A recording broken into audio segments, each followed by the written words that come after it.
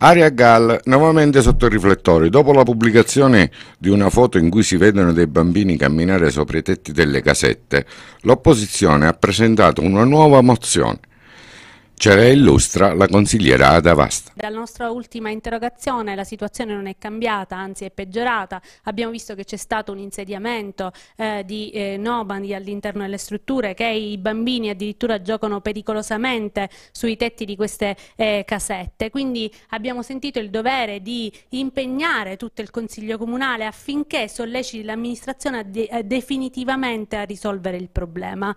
Noi riteniamo che questa situazione non può più andare andare avanti così com'è e riteniamo che ci sia una responsabilità da parte dell'amministrazione, chiediamo due cose, la messa in sicurezza prima di tutto e poi l'utilizzo dell'aria per, per, lo scopo per cui è nata. Per risorse per eh, mettere in sicurezza quest'area.